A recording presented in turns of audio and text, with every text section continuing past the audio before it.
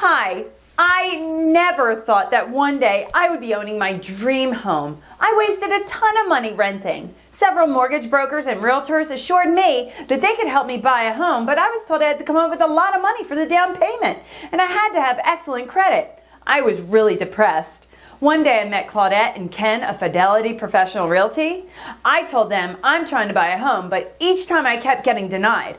I'm a single mom and I wasn't making a lot of money and I didn't have much to put down. Plus, my credit was so so.